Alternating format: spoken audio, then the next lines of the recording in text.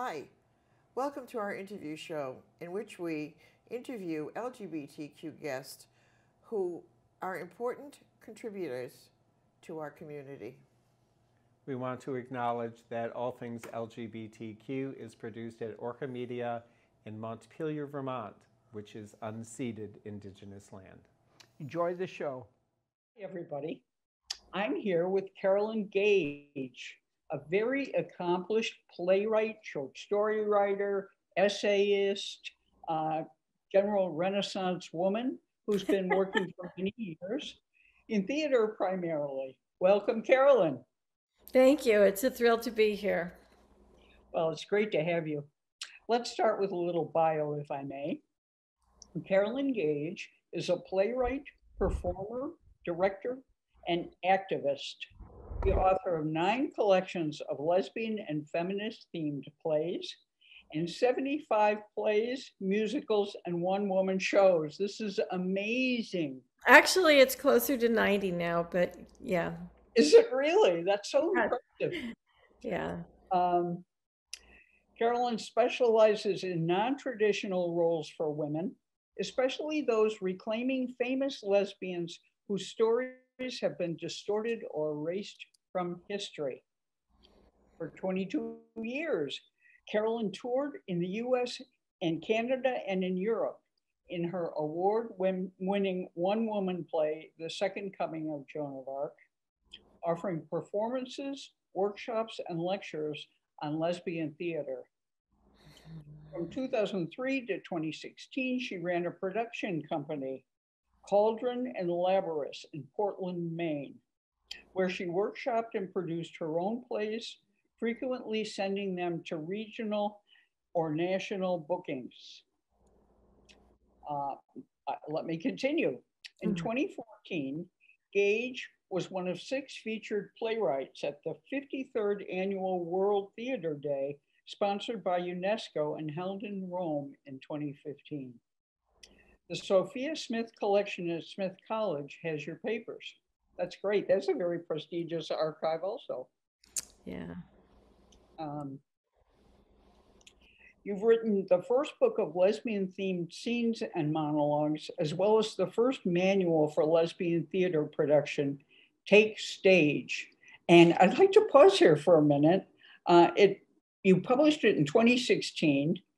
It's the subtitle is How to Direct and Produce a Lesbian Play.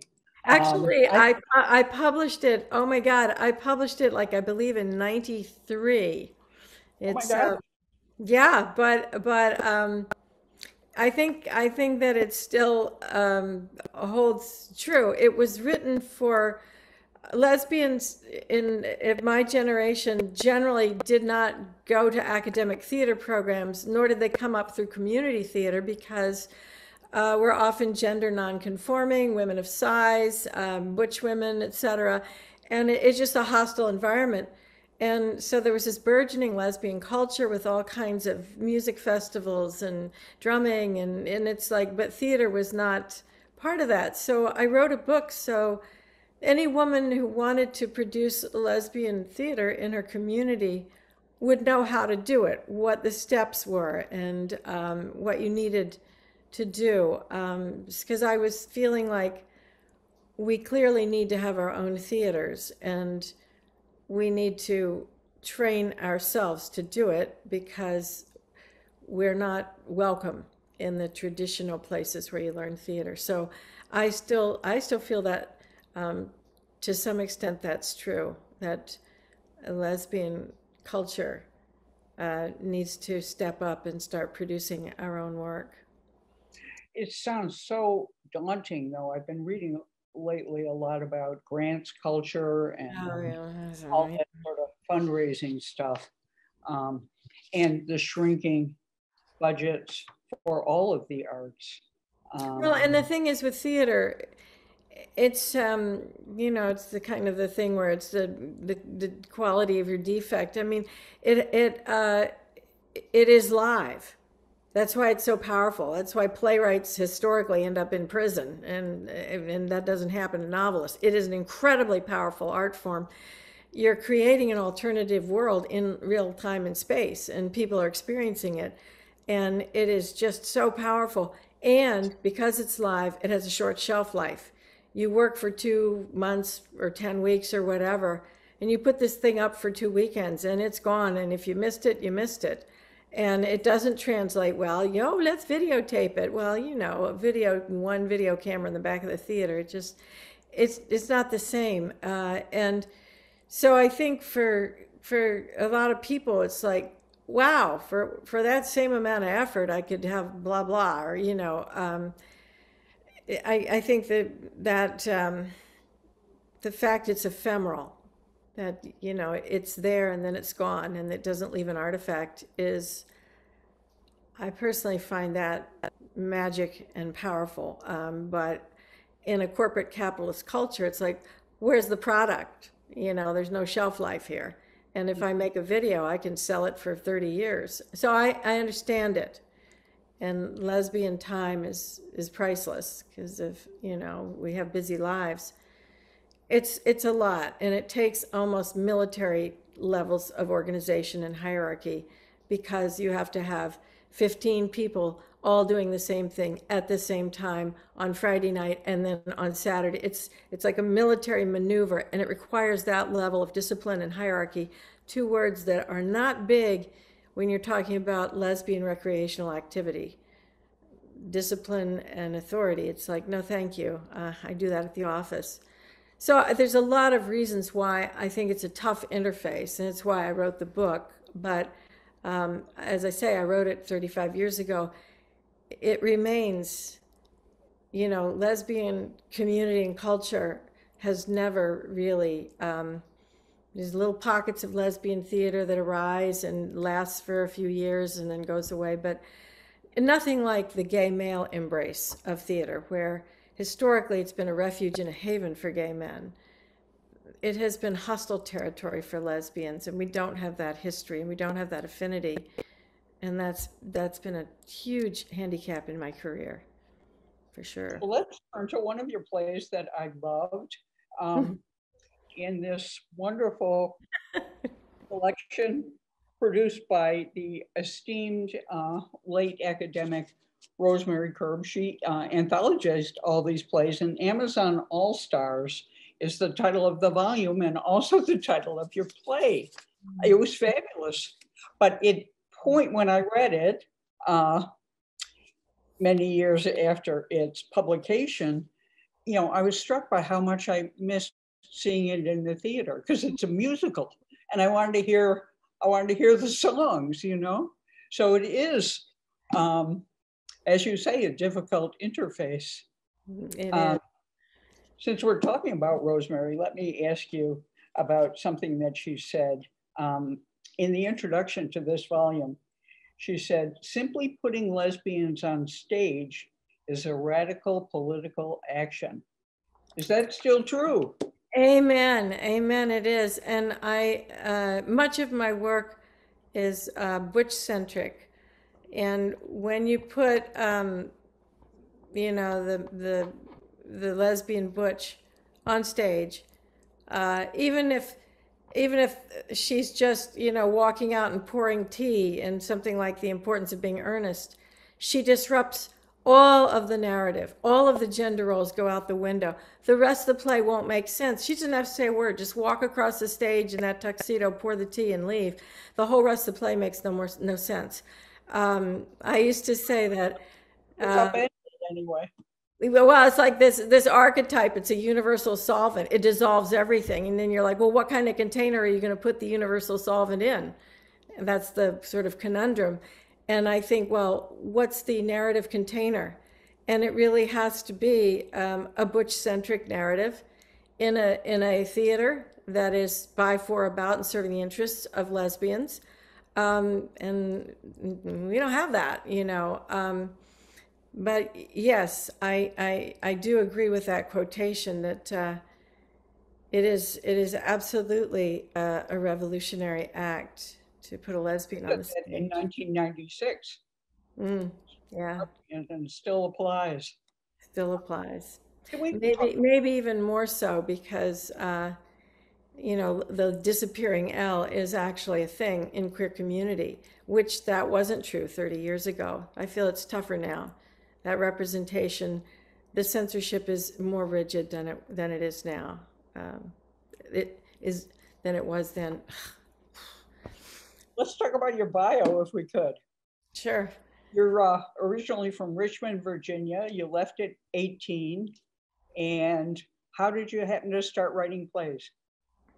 Well, um, I kind of rattled around. I, I went and uh, I went out to Boulder, Colorado, and I lived there for a while. And then I hitchhiked around the country for a while, and and then I um, I thought I was going to go to chiropractic school and be a doctor, and then I didn't. And, you know, so there was kind of a little bit of wandering the wilderness for about a decade. And then um, around the age of 32, I uh, began to recover memories of my childhood. And I, which shouldn't have been a surprise. I really hadn't been home since 18. That is not, you know, the hallmark of a wonderful family. Um, but I still had a lot of myths about it. And then I began to recover memories, and, and it was quite shocking that I didn't know my own history, eh, which meant I didn't know my own identity.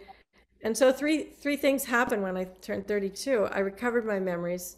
I realized that I needed to be I needed to be living a lesbian life. That's that is where my heart, my politic, my identity really lay, and um, and that also I, I needed to be an artist because I, I finally knew what I wanted to say, which, if you don't have your memories, if you don't know your history, and you don't know who you are, it's very difficult to be an artist. So, all those three things happened at the same time, and none of them could have happened without the other two. I mean, I was able to get my memories because I was realizing I was done with men. That enabled me to access memories that would not have been useful if I was planning on having, a, you know, a husband. So, um, you know, it was a kind of red letter, just one of those. It's kind of like the before I was 32 and after I was 32. And, um, and also, I've recently been diagnosed as autistic and realized there was a lot of masking going on. But I think part of that was at 32, I began to really work on being authentic and authentically present. Prior to that, I had just been performing like, who am I supposed to be? What's the game? And how do you play it? And I'm going to make sure that I play it really well.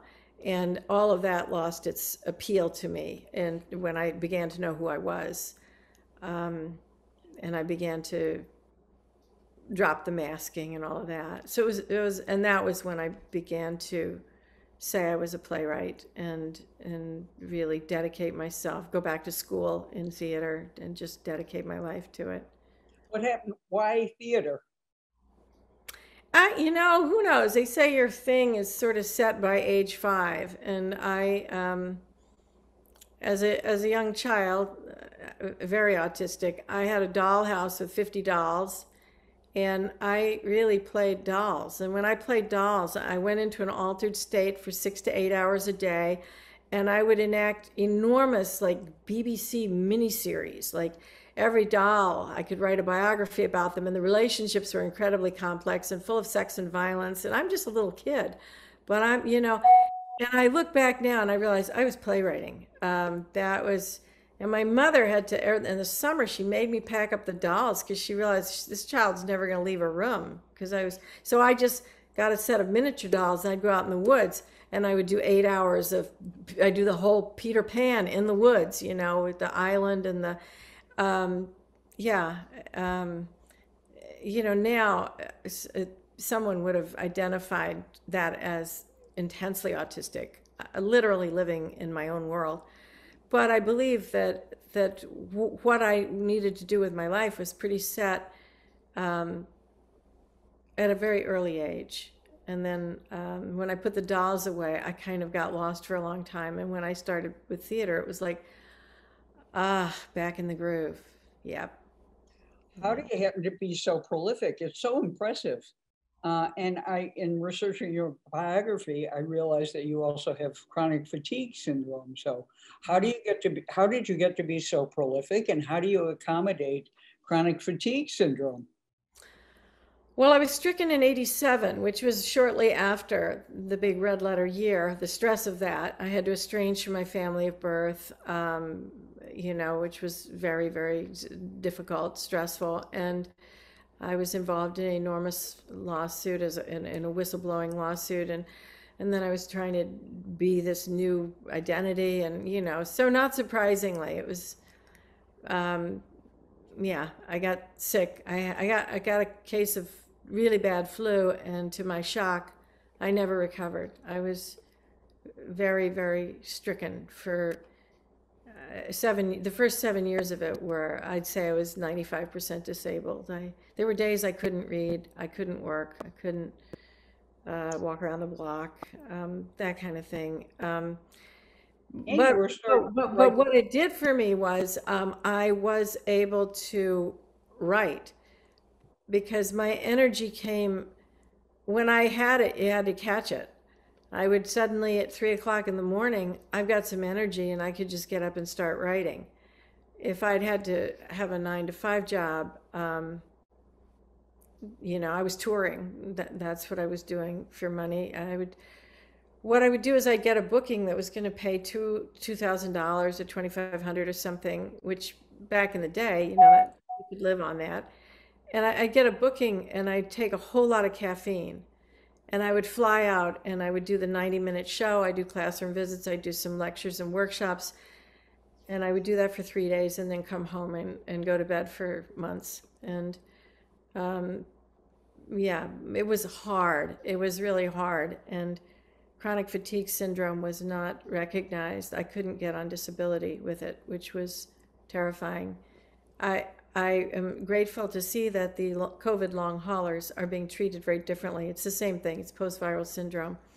And they will be able to get on disability. Um, they won't have the same struggle that my age cohort um, has struggled with for decades. Uh, the CDC, in particular, pretending it was not a real disease. Um, it it must have been so hard to be just starting out as a playwright and then be stricken with this. Well, but you know, I, I probably would have gotten, I, I, I probably wouldn't have chose, I, if I could have done something different that made money, I would have. But I was so sick, it was the only thing I could do. And I look back and I feel like there was a certain gift in that.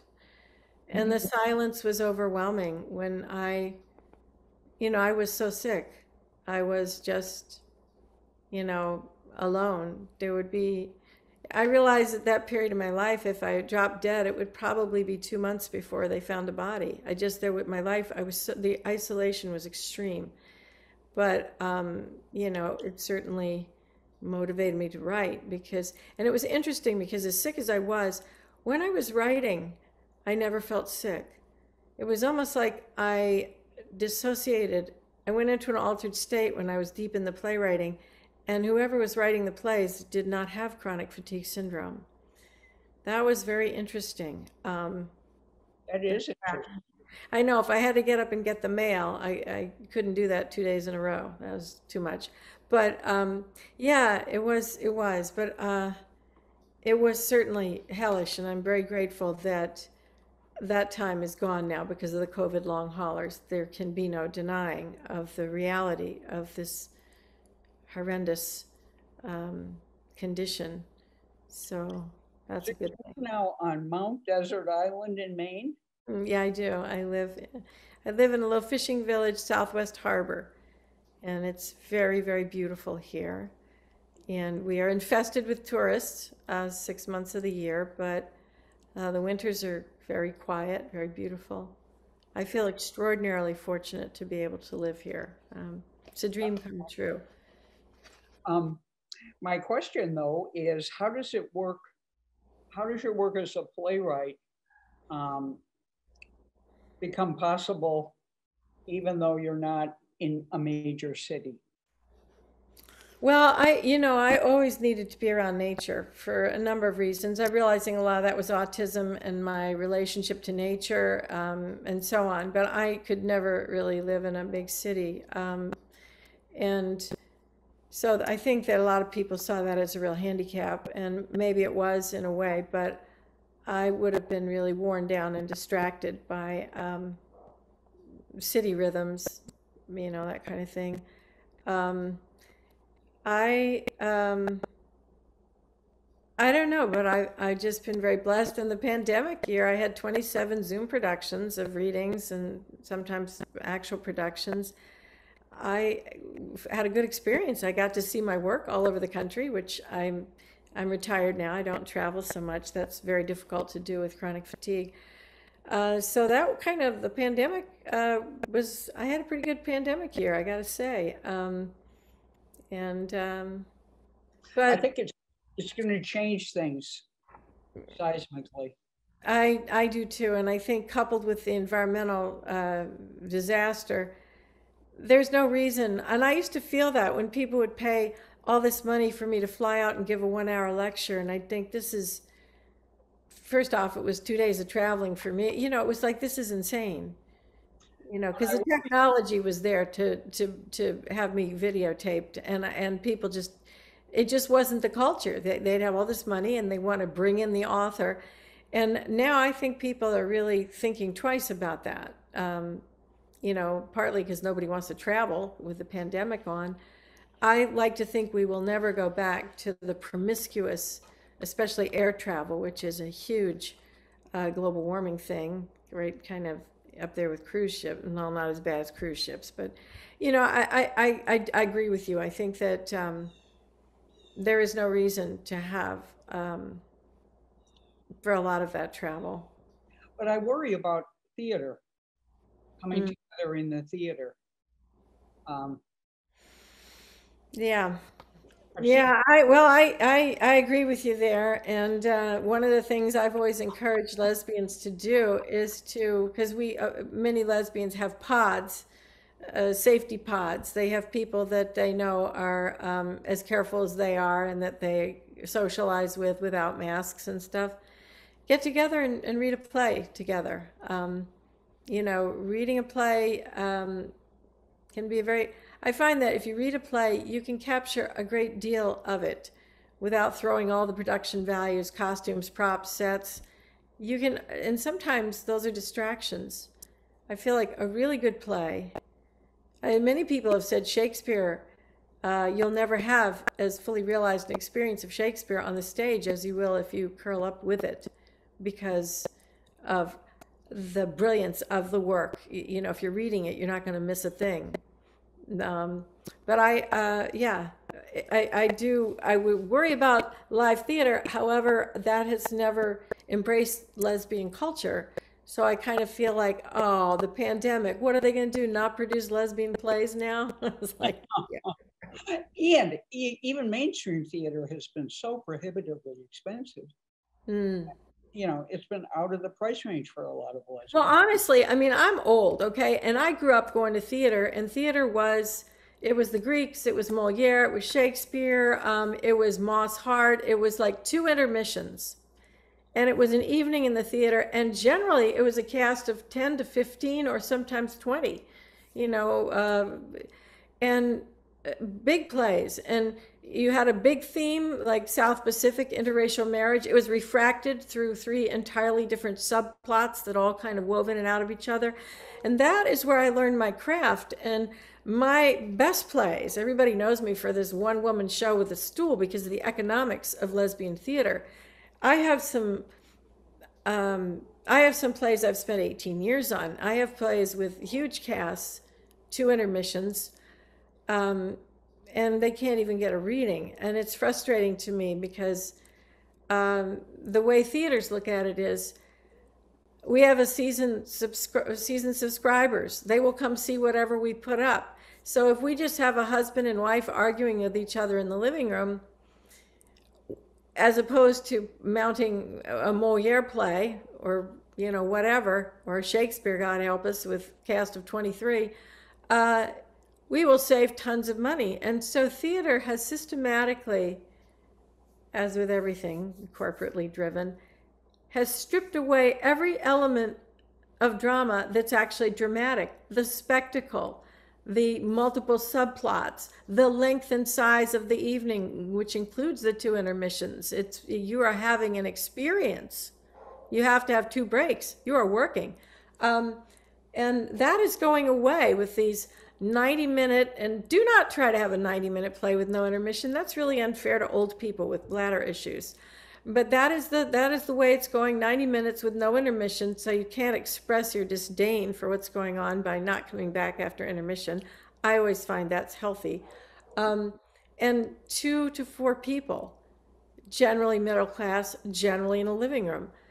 How, how boring is that? And and I just compare that with the Moss Hart plays, or um, I, you know, and it's not just me being old. I mean, we have two thousand years of theater that looked like that. If you asked Anton Chekhov or Moliere to write something for two or three characters in a living room, they would just be like, I can't. I what I have to say that doesn't interest me for starts, and the themes that do cannot be covered with those parameters. I just feel um, I feel really soapboxy about that. Like y'all don't know what live theater is because it's not being done anymore. Um, and you realize all, most of the great writers. I used to feel bad that there weren't lesbian theaters. I was produced. My first theater company was in a bar. And then I remembered the greatest playwrights in the world wrote for bare stage broad daylight. It's like, don't sweat it, Carolyn. And Shakespearean actors wore their everyday clothes. They wore Elizabethan clothes even though they're Cleopatra. It's like, you know what? You don't need that. This isn't film. This is live theater, and you'll be the better playwright for that. You you know you will you can't lean into um, all these props. You know you you're going to have to really you're going to have to really make it happen, make the magic happen. Um, yeah, but I. Um, I feel like we don't really need to throw all this money. Make a movie. You want to do that? Make a movie. We don't. Good theater just doesn't require all of that stuff. You know, it really doesn't. We're getting to the end of the interview, believe it. Oh my gosh. I have a couple of quick questions. What are your current projects?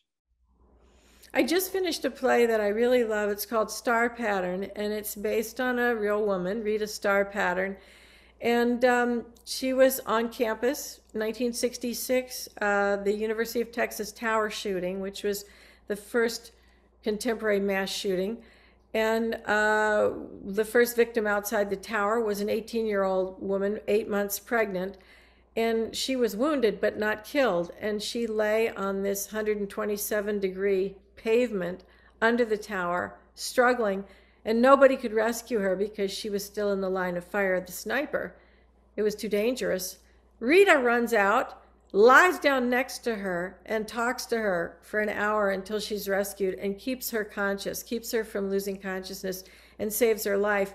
And uh, Claire, the, the victim, she has given many interviews about what they talked about. And they did that thing where women in crisis who don't know each other establish an immediate intimacy and then collaborate on creating anti patriarchal um, space in a crisis situation. And this was really a, a patriarchal inferno.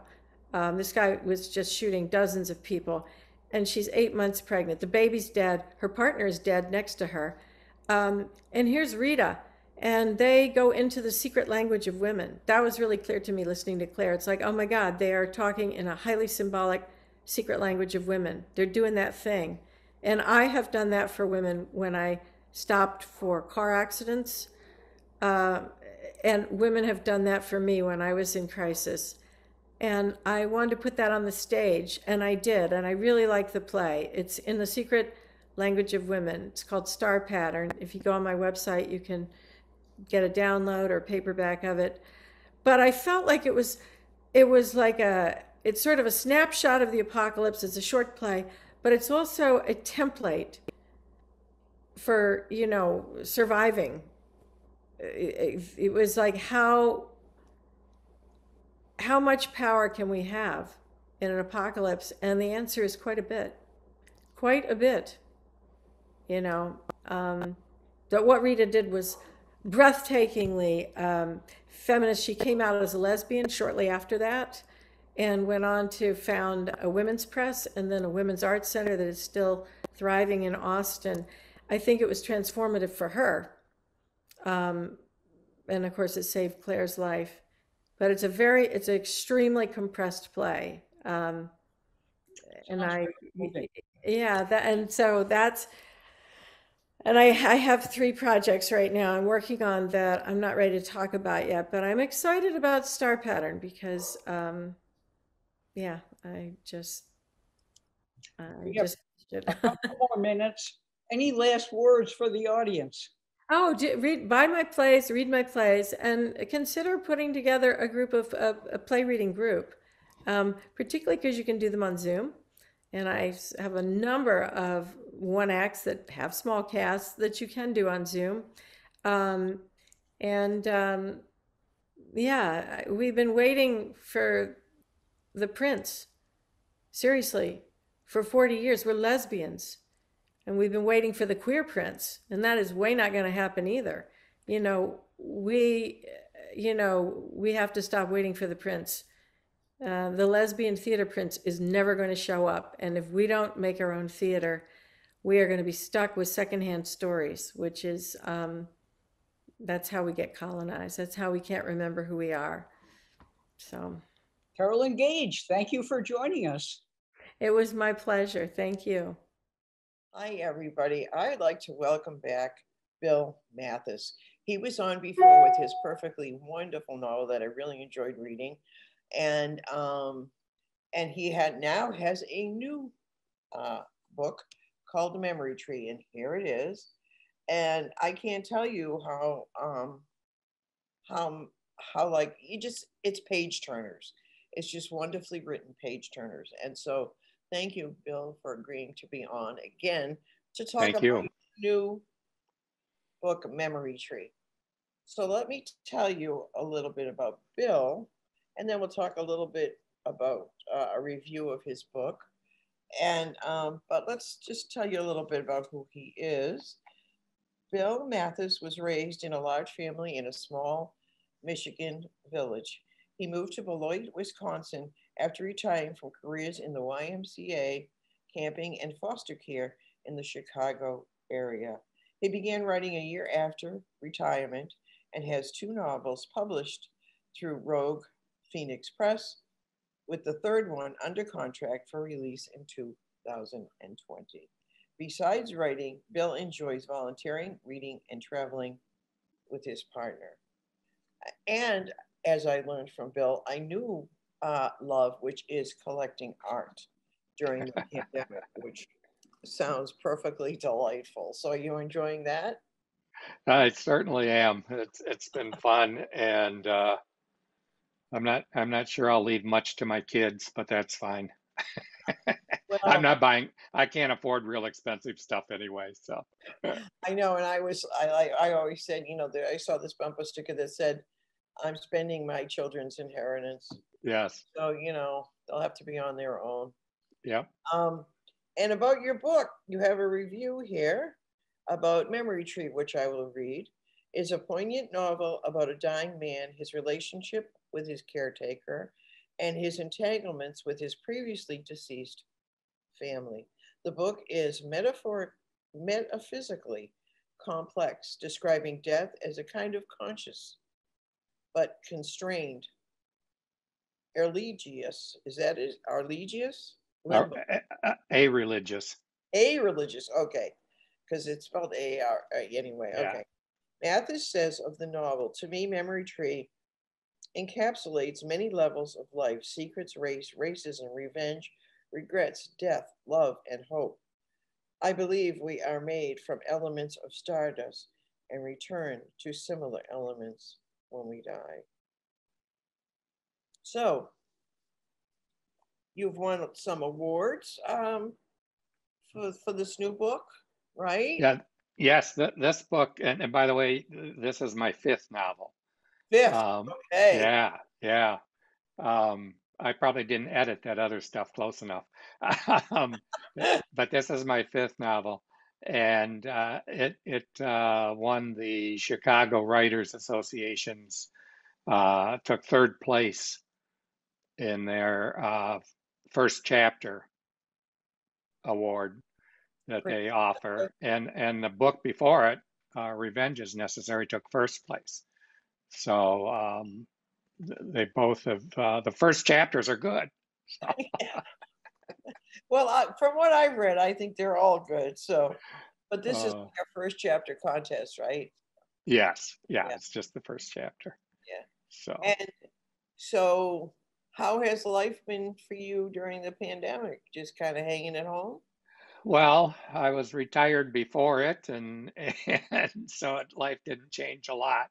I mean, Groundhog's Day is Groundhog's Day. Uh, it it did get a little boring, um, but you know, like I said, uh, we the worst part is we couldn't travel. My partner and I, um, you know, I've done very little traveling, and and there for a while at the worst of the pandemic, we even ordered our groceries in. Um, we're not doing that now, but with the, uh, but but we were fine. I mean, it, it wasn't a huge upset. We we missed uh, a couple of wonderful trips we'd planned, but you know, that's life. And uh, I haven't seen my daughter and grandkids in in two years, but I'm certainly not alone in that factor. And uh, um, we, we have a coffee group that met every Saturday morning at, locally, and we switched to Zoom. And um, and actually, that expanded it because people who'd moved out of the area could join, and so that enriched it. Um, we went back to personal meeting, and then with this Delta variant, we're back to part of us are back to Zoom, part of us part of them meet live, but they go early. Um, but it's just not worth the risk in a crowded restaurant. Yeah. So, so, but other than that, you know, it's been fine. It's And uh, I'm and, sure, and we collected art. and I'm sure it's given you much more time. Um, I know for me, if I, I tend to socialize if given the opportunity. And so without that opportunity all the time, I tend to write more myself. So I don't know whether it's having that effect on you. I've Well, also- our our writers group uh, met in person at the library, and we switched to Zoom, and we actually found it much more productive. we just got right to it. I know because we had groups and then, you know, everybody would bring food and then you'd eat the food, Yeah. talk about, Yeah. you know, blah, blah, blah, but you know, it, it's easier to get right to it on Zoom. Um, so do you still keep up with your writing schedule or you have? Um, I haven't in the last nine months. It started to slow down a year ago um, as I finished up Memory Tree. And um, the the issue is is is 20 plus years ago I was diagnosed with chronic fatigue syndrome. And and it was so severe I was off work for 5 years and on disability. And I gradually got somewhat better. I'll never be over it but I got better enough to function and go back to work in a different capacity and then retired and started writing. But uh, it it started to slowly re- recur or get worse again over the last year. And so the last nine months, I have done very little. So in some ways, the pandemic's been a blessing because I couldn't do anything Yeah, if I felt like it. And and just the concentration and focus of writing just it, it isn't there right now. I think it'll come back and I have lots of ideas. But uh um so I uh, know, like- you're not- and you'll probably write it, you know, really quickly because you've had so much time to sit on this, the idea, right, right. And and I've got a couple things in progress. Um Yeah, I've got a I haven't got a plot. That's the problem. got these great characters but no plot. well, you know, I think if you keep, uh, maybe you can do something about the apocalypse or something. Yes, yes. Um, so when you're not writing, what do- what do you like to read? If you can, you like fiction or mystery or I have- mostly read fiction, and I, I like um, sometimes I like psychological thrillers. Mhm. and um, and and thrillers. Um, I'm trying to. I, I draw blanks at names. I just read a couple really good ones. I was going to give the author applause, but I got to remember her name first. It it's uh, the book is the Marsh the Marsh King's daughter, and it's actually being made into a movie. Ah, But it's Paula Dionne is the author, and she has written some marvelous things. Her her books are marvelous. So, and then I I bounce around. I read a little bit here and a little bit there. Um, so, and and being a ex-evangelical, I follow religious news, and I'm not sure why, but now there's a lively group. Um, but I'm not gonna get into politics. yeah, good. I mean, I could, but I'm not gonna. Yeah. But anyway, so, um, you're, you move, you're from a large family. Does that import like the drama of, I know you have a lot of LGBTQ characters in your novels, which is wonderful. But do you find that your large family in a small town kind of mm, gave you ideas about family life or um, about you know what it is to live in a small town or Yeah, I think it it it definitely shaped uh, a lot of what I write because all, of my books involve family, um, and and several of them large families and and and that type of thing. And so um, I, I I have this ideal family of growing up in the 50s and, and 60s in, in a small town, and, and I've always looked at that as just the ideal. And and then as I've gotten older, and I, I didn't come out as gay till old age, uh, maybe it's senility, but um, but but I realized it it wasn't an ideal life. I mean, it, there there there was a lot of issues um, in in and I'm sure, families, and I'm sure homophobia and racism were uh, yeah, yes, yeah yes. So which probably so delayed a lot of us coming out yes. So, um, so that's affected it, and and I, I think my books with families um, present flaws and uh, secrets, and and none of the secrets that I've shared are are personally uh, that I know of. I don't I don't think my six siblings were or psychopaths, um, but uh, it, it it definitely shaped, and and uh, and it's been interesting to see how that plays out in my writing. now stardust now there's an interesting concept. Um, i know there are some people that believe that when we die we turn into stardust. Um, so i find that really intriguing. How did you come up with having a character in the book that's stardust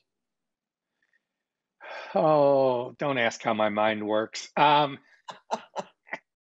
I I I I liked I I my my personal belief system is is gone from uh, uh, being raised in a independent fundamental pastor's home PK to later in my mid 30s being a born again Christian and living in evangelicalism for 30 years.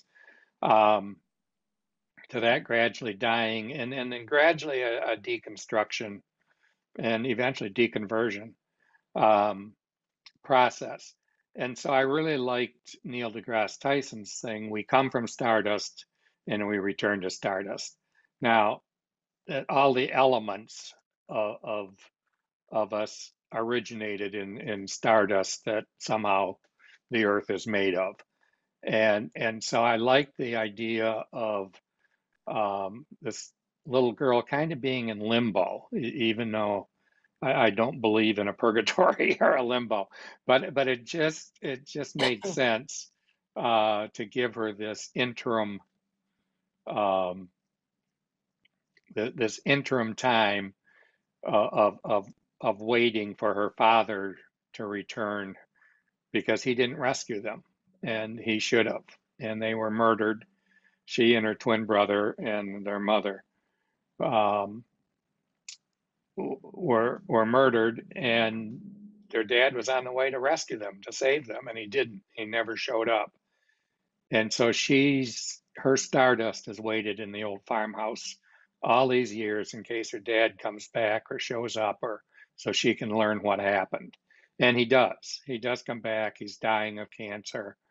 Um, and and he's white.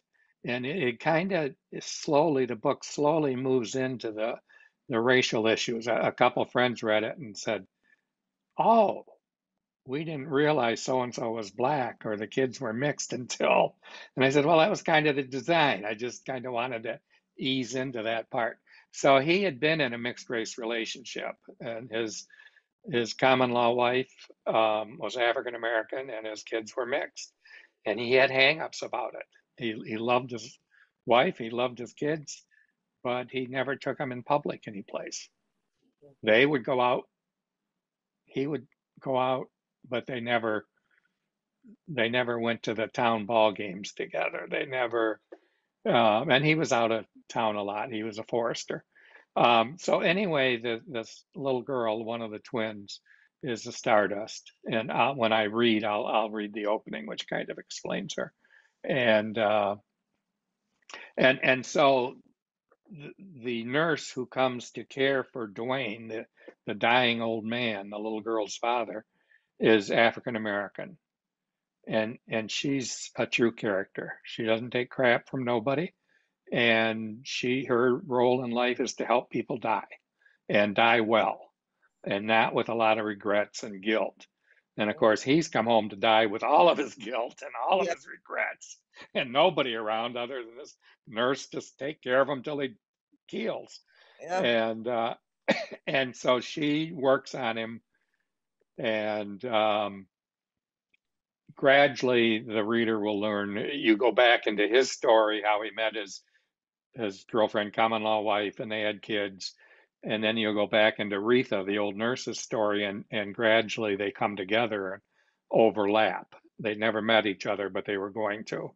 And then the, the story continues. And then it ends it, it it ends with the old man dying and uh the stardust of her father and the stardust of the little girl are together and then she realizes um, their stardust is actually going to become real dirt and and uh, and she wants she hopes that a, a pink lady slipper uh-huh. grows up grows from her dirt because they lived on the edge of a national forest so they spent all their time in the woods and it, it's a very nature oriented book from the standpoint of of uh, enjoying the outdoors and uh, being involved with the growth of a forest and all of that. So, and then, and then the central character is Memory Tree, and that's the old tree in the front yard that they talk to, and it kind of gives a history of of the tree, and and uh, um, it's just kind of another character.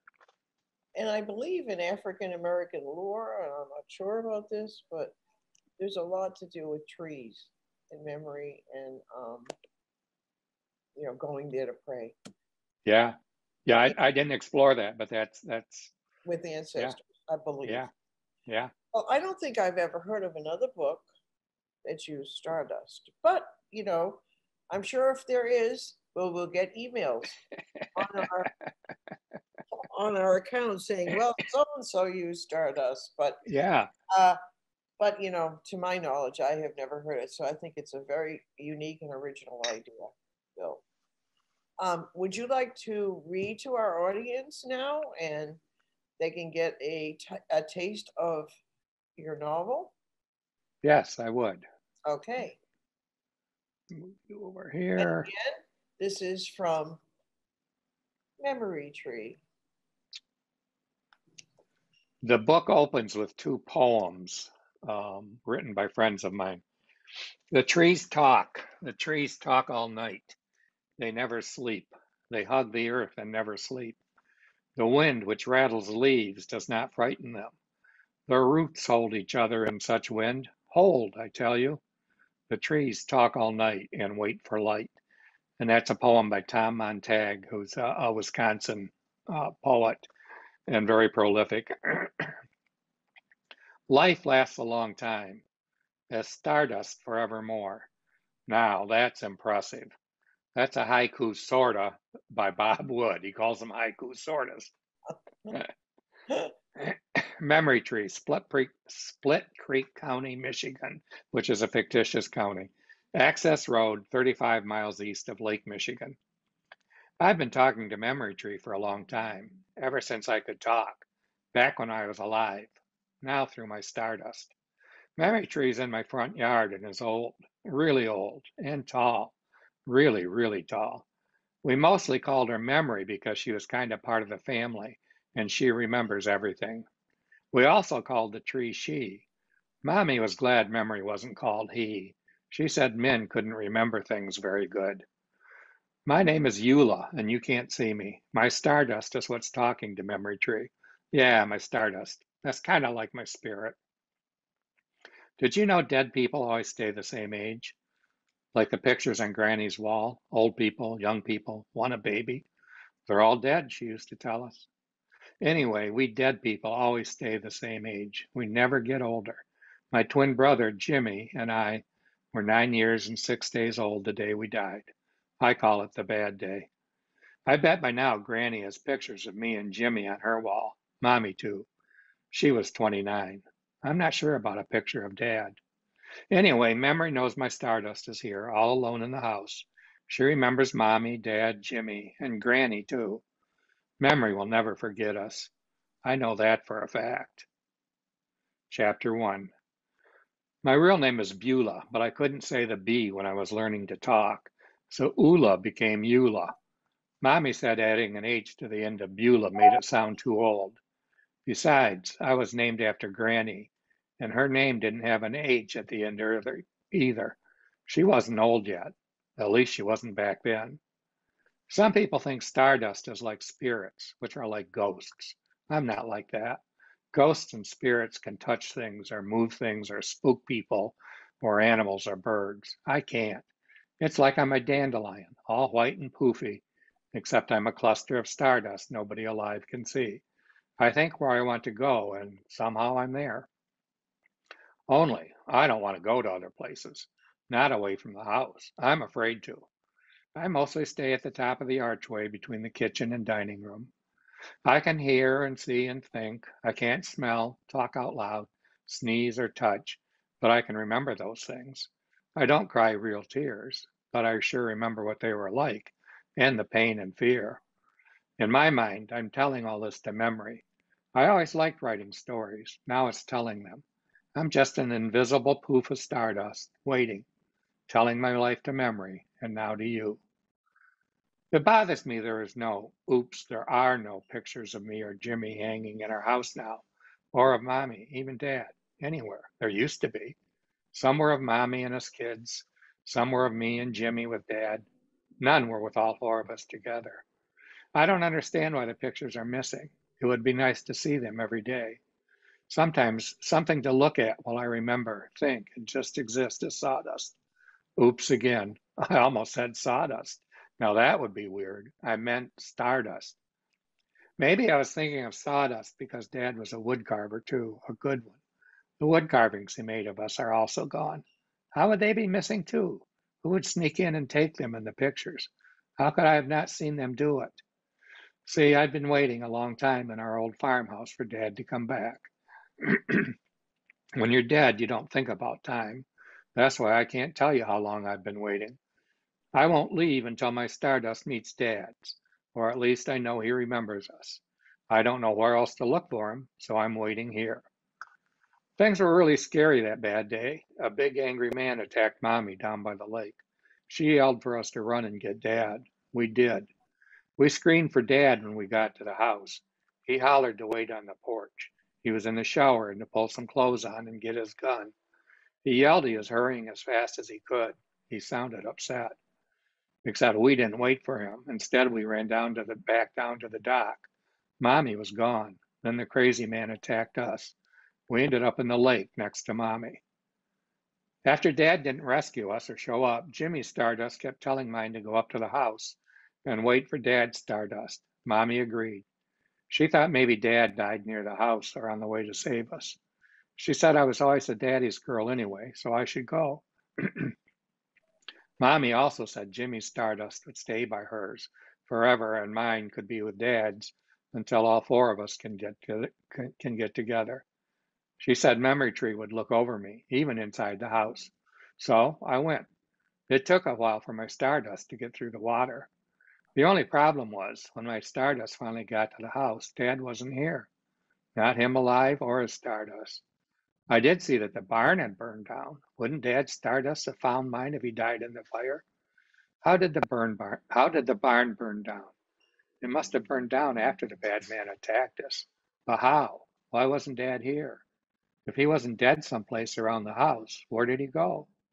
Dad was supposed to come rescue Mommy, me and Jimmy too. Dads do that, rescue their family. Our dad never came. So I'm here in the house, waiting for Dad, waiting to learn what happened, waiting for my forever to start. And that Very ends the reading of the word. All right. Well, I'm ready. I'm going to start reading um maybe today. Good. um, so, where can people get this book? I'm sure the usual places, the Amazon, uh, bookstores. Do you, you have a direct um, uh, place that people could buy? Uh, They, they can buy it through Amazon or any of the major online retailers. Their local bookstores can order it for them. They'll have to prepay, but they can they can be ordered. And I encourage people, if they don't mind doing that, to support their local bookstores. Um, if they want signed copies, they can contact me. Um, the easiest way would just be through my email, um, Bill Mathis Writer at gmail.com.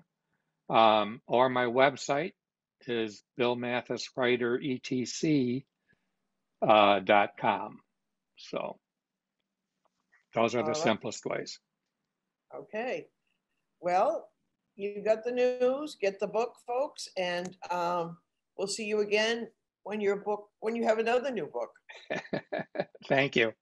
which we hope is very soon. It, So- it'll be a little while. I got to figure out a oh. plot first. Thanks, Bill. Thank you. Thank you for joining us.